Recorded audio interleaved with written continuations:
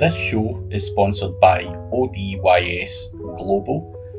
Make sure that you do sign up and get a free $100 bonus by checking out ODYS Global's age domains or done for you affiliate websites. Hello, everyone. Welcome to episode 34 of SEO Tales. My name is Itamar Blauer. I'm joined by Craig Campbell, and today we're going to be talking about social media platforms. And we're just going to be giving our ratings as to which ones we feel from personal experience have led to the most success within digital marketing in general. Um, so I guess let's just start off, Craig. Let's uh, name some social media platforms, and then we can just give a rating out of 10 and then explain why. So let's do it. give me one. Let's go. Throw them out there. LinkedIn. LinkedIn. Um, eight.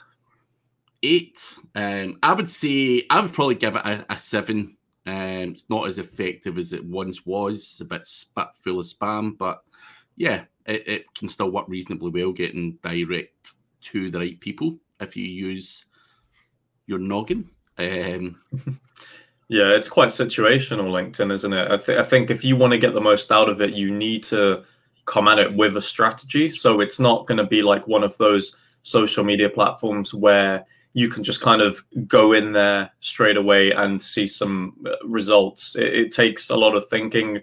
Um, and I think LinkedIn, what if you are able to kind of get through that stage of, of thinking about a strategy to using LinkedIn, either if it's to build connections or if it's to build engagement, um, you'll do quite well because I think uh, in general it's quite easy to get good engagement on LinkedIn. And I mean, we've seen stuff now where everyone's uh, completely running down the whole, you know, put up an image uh, with different options and then people can either like it or love it or give the green clapping thing. And it's just, like just farming engagement linkedin is is as a social media platform now i think. So you know whilst that's still powerful uh, you know get a strategy going and do it but yeah. No i would agree with that. As as you say it's a, a strategic thing. You can't just go on there and spam the shit out of it. Um it can be useful getting to the right people. You know the if you want to get to the market assistant in a company quite easy to use their, their simple filtering option and, and connect with the right people. And uh, if it's used properly with the right strategy, then it can be beneficial. But so many people use it as a mass spam uh, fest, and uh, that is where it can become somewhat irritating. So, not as effective as it once was, but still good if used properly. So, you give us a platform now. All right, uh, YouTube.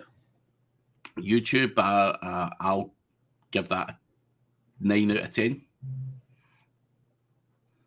why, why, why are you looking at me like that? I want to know what the score is. Oh no, I thought you was like, is, is he going to disagree? no. um, let's see, YouTube.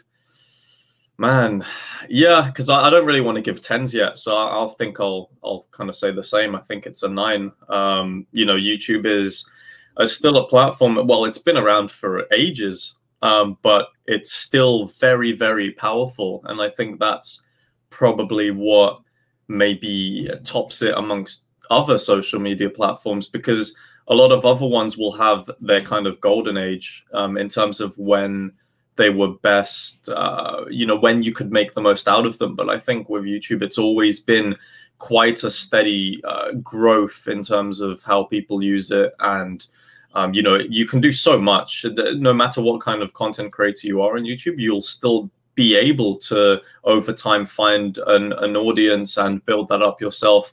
And I think uh, the the reason maybe why I wouldn't give it a 10 is that there's still some element of luck on YouTube. It's about, you know, making sure you get the right people to find your channel who might want to share it and and help your content go viral because that's also another part of it. But what what do you think? Why why give it a 9? Um, I think uh, uh, you know a nine is probably a fair reflection. I think it is decent, as you say. I think more you know more and more people are jumping on the YouTube bandwagon in terms of promoting themselves because videos are quite popular. The only downside to it is that kind of ads side of it can be somewhat irritating and uh, and you know I've had people complain to me because I turn monetization on and I'm like, there's too many ads through your videos, mate. And I'm like, all oh, right, I didn't realize that. Um, so they're obviously trying to force people over to the premium subscription. I get they've got to make money. However, it can be very irritating if you're watching a video and you don't have YouTube Premium and there's ads every few minutes throughout that video. Um, so for me, that can be a little bit irritating, but still a great platform. Lots of people, you know, tons of people use it, and it can be a very effective platform for driving traffic, getting your name out there, building your brand. And as you see, any kind of content creator can use it. It's not just for SEO people. You could pretty much, you know, you get people unboxing presents. You've got, you know, iPhone reviews. You've got computer reviews, drone reviews, anything at all you can really have on there.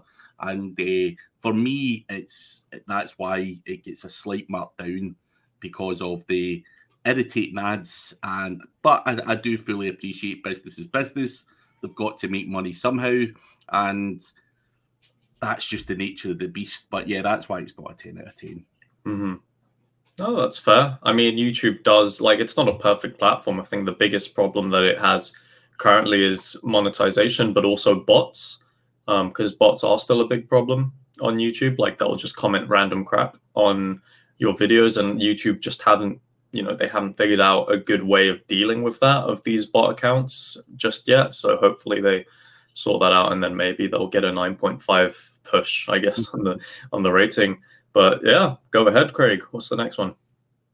Um, let's go for Twitter. I know this is going to be one that, that has much debate.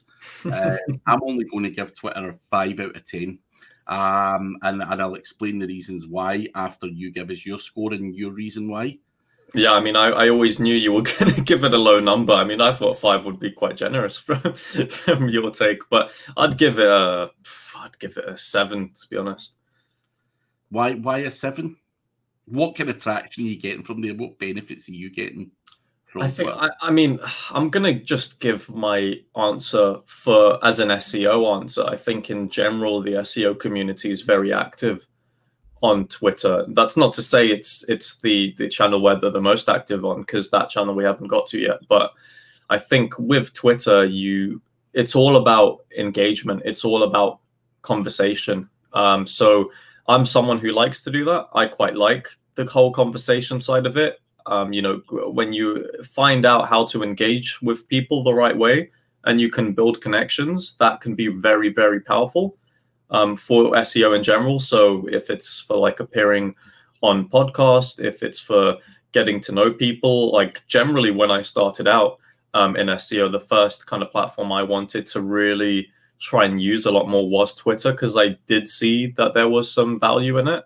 Um, and based on my hunch, that ended up being quite correct. You know, I've managed to get some really solid links from it, um, meet some really cool people, and I think that kind of elevated myself in terms of uh, personal branding in general in the SEO uh, sphere. But um, that's why I'd give it a seven. I don't think it, you know it's it's one of those things that you just wonder sometimes, you know, is there a real point of using it that much? Your people can go off on tangents and post random stuff as well on their profiles. That's not really all related to SEO and stuff. So, you know, it's not like a complete platform by any stretch of the imagination. But I just think, um, in my personal experience, it's kind of given me that kind of boost in, in the beginning, but I know you're going to have very, very different things to say. So I'm going to sit back and let's get into it, Craig. Why five? Um, I mean, listen, it's got its benefits. There are a lot of people on there and stuff like that. For me, I just think it's it's full of negativity. Um, you know, you have or people have the opportunity, whether they're friends with you or not, uh, and, and I know you can lock down your Twitter and make it to you know your tweets visible to friends only, but that kind of defeats the purpose as a marketer. You know, you're closing off a lot of potential audience. So I think you know people. There's a lot of negativity on it. I think faceless profiles can come on and blast you. Um, you know, and, and, and I just think it's it's one of those platforms that's quite faceless so you can remain anonymous, kind of, anonymous. And I don't know if it's a mindset thing where people can just be a little bit ruder on there. And I've always just found that on that platform, out of all of them that that I operate on, I just feel that that's one where most of the douchebags hang out, um, and the one that you get the the grief from. So, like on you know other platforms, you've got the ability to not be friends with these people, and people can't see it, but you can still and I know you can do that with Twitter, but I, I don't know. Um, I've just never had great experiences on Twitter. Uh, you know, it's all been kind of fairly negative. I only really post on it. I post on it, you know, in terms of showing a video or, or you know, showing a show or, or, or a, you know, something like this, you know, SEO tales. I don't really, I'm not proactive in terms of communicating with people and answering questions or, or, you know, doing stuff on there. I also think it's kind of boring but because you say people can get lost or you know you could be having an opinion on something or a debate on something then before you know it you're debating something completely irrelevant because people just go wild on it so um you know and and people start pulling the arguments or debates all over the place and uh, i think for me there's not enough time or effort in the day to be kind of leading that back to the, the track you were trying to go on so i think twitter's the the least you know, for for me personally, the, the the platform I probably use the least. However, it still gets a lot of people. It gets a you know, it gets your name out there, and I think it's still worth having. Um, I just know many people who just feel that the negativity from it is is a little bit OTT, and you can spend your time in better platforms that maybe don't have as much negativity and that's what everyone wants in life, I think. So just a chilled life. So yeah, there you go. I've not been that bad to Twitter, so yeah, not as bad as I would have thought. Um, all right, Facebook. Um, I'll give Facebook a a good nine and a half. Uh, no, in fact, I'm going to go for it. Fuck it, ten out of ten with Facebook. Um, and the reasons why I enjoy Facebook is I think they're kind of proactive in terms of helping us. So you've got the ability to to have a personal profile, a page, a group, and and stuff like that, and you can kind of segment your audience or funnel them into the right place. So, for example, my personal profile could essentially remain personal if I wanted it to. Um, I could filter people into a training group if I wanted to have more training stuff on there without annoying the hell out of my friends. Um, and you can have a page that uh, can be for your business. So you can really segment it out. That said, um, my personal profile is pretty much full of digital marketing people. I don't, I wouldn't call it a personal profile where my family and friends are on there, purely because um, I, I do think you know on Facebook, things do become a little bit, uh, you know, people come a bit too familiar um, they, and, and, stuff like that, and they start adding like your, your mum or your dad and shit like that. And, uh, you know, I think, uh, and I, have never really had any bad problems with that, but I've just always been like, oh, you know, like my mum would say, like, why is all these SEO people adding me and, and all of this kind of stuff. So I, I try and segregate it all out altogether, and I've kept my personal profile to the digital marketing community. I do have a Facebook, which is actually for people I grew up with and stuff like that, a separate one. And uh, I don't post about SEO on there, but I think as a platform, the the groups, the the, the ability to have pages, um, you know, the the Facebook Pixel, and now being able to retarget people and a whole bunch of other stuff, just make it probably the best platform. And I and I do like the personal profile where obviously you can hide a lot of stuff. Um, you can you can also stop certain people seeing certain stuff as well. Um, and I think the security functions on there, for example, if I don't want you to see anything that I post, I can share it with the whole world other than you. Um, on Facebook, you know, you've got that ability to be quite granular with the security, whereas, you know, the, the previous platform we spoke about, you don't have that ability. It's either lock everyone out or uh, stuff like that. So again, you can be, you know, proactive in terms of granular stuff that you maybe don't want someone to see. Um, and as I say, fil- filtering people into groups and all of that kind of stuff, and, and being able to do Facebook lives and and uh, all of that stuff. I just think it's the all-in-one best platform for me, the one that I enjoy the most as well. I think it's quite visual, and uh, you can kind of see people. I, I, mean, I know you will also argue that you can get trolls and stuff like that on there, but delete them and, and move on. And uh, you know, it's you get them out of your system. Whereas if you have a, a tweet, a Twitter, for example, and you block a guy, you can make up another account in two minutes and come at you again. Do you know what I mean? So um, you've got the ability to decline Facebook friend requests from people may, who maybe have new profiles, or if it's a group, you have the ability to see what they do or ask them questions or whatever. So it's good filtering options on there. So that's why I give it an overall 10. I think it's a really good platform. Yeah, that's fair. I mean, I would.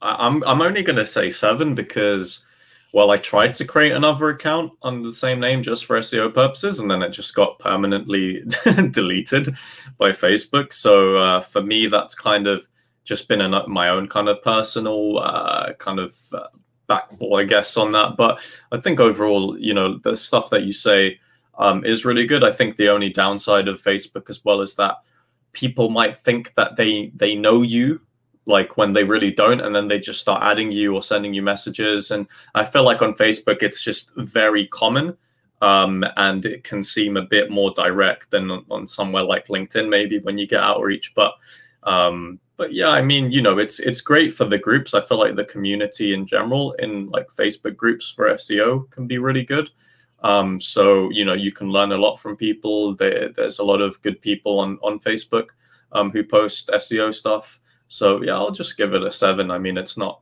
terrible, um, but I just haven't fully seen all the benefits yet myself. Um, but I think let's let's do a kind of quick fire round with just three more platforms, um, a rating, and then just one line about them. So let's start with Instagram. Um, five out of ten, and because it's just not you can't be that in depth with it. It's more for hairdressers and shit. So that's my one. What about you?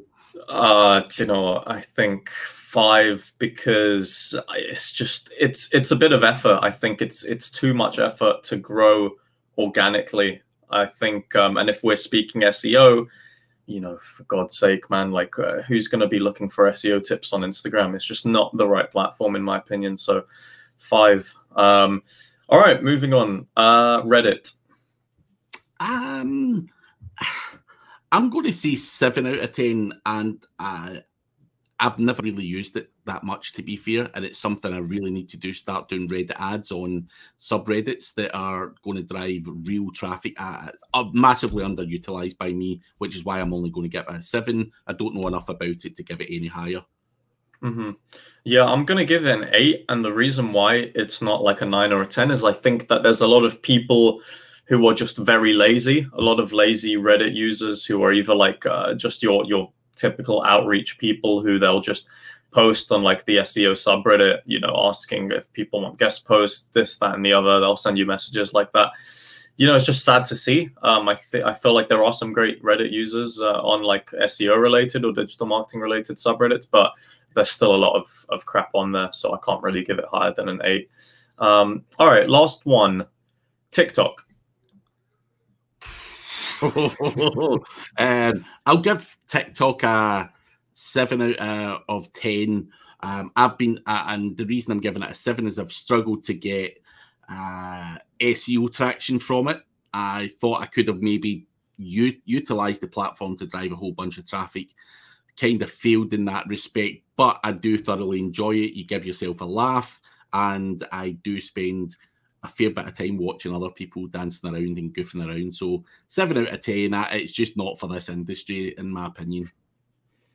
Yeah, I feel like I'm gonna have to rate it on that basis, and I'm just gonna say zero because it's just, you know, I, I mean, as much as I get the platform, I get the use case for it um, and by understanding the use case, you will understand that it's not really useful for SEO if you're trying to generate business. It's just not not a thing. So for that reason, it's uh, it's a zero, I'm afraid. but I mean, I think that kind of wraps up. It was quite a nice thing to do.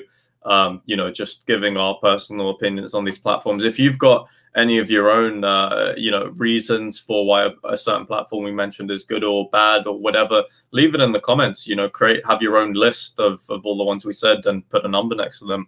Um, but yeah, I think that was quite a fun episode. So thanks, guys, for watching episode 34 of SEO Tales, and we'll catch you next week.